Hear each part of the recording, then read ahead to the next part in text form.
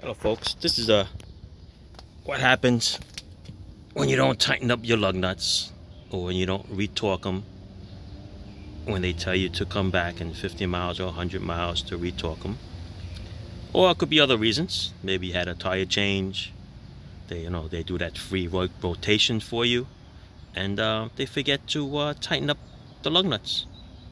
Or the tool that they use, if it's a electric one, um, maybe it had low battery power and it didn't have enough to um, tighten it up or an air gun wasn't good but this is what happens. All right? The bolt shear off your tire comes flying off and you do a lot of damage. Look at this bad boy. This is what happens.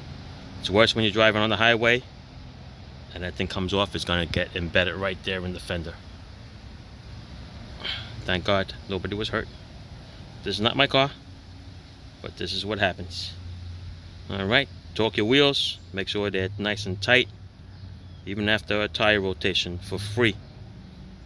Nothing's ever free. You can always have a lot of damage. Okay? All right, ciao.